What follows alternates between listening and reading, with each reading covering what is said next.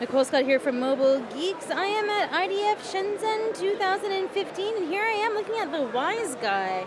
That's right, it's called the Wisky.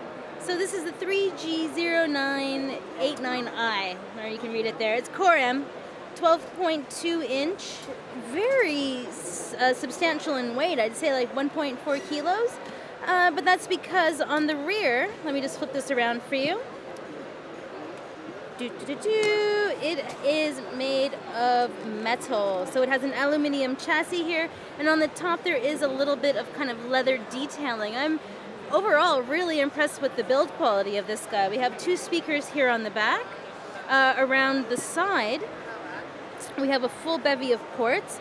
So that's a SD card slot. We have a power that's, I think that's a mini HDMI, two USB 3.0s, and a headset jack. Now let's take a look at the display. And taking a look at the front of the system, you can see it is running Windows 8.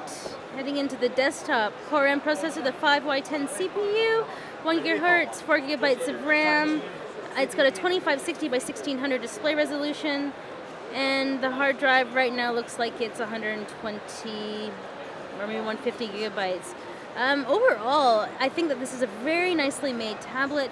Around the edges here, you can see that there is this kind of like two-tone casing that makes the extremely large bezel seem a little bit smaller because it goes, you can see down here, it goes from black to white.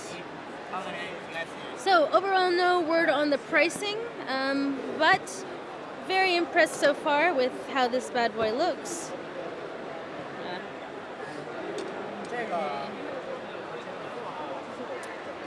So this has just been a quick look at the Wisky 3G089i Core detachable 2-in-1. No sign of the keyboard over here.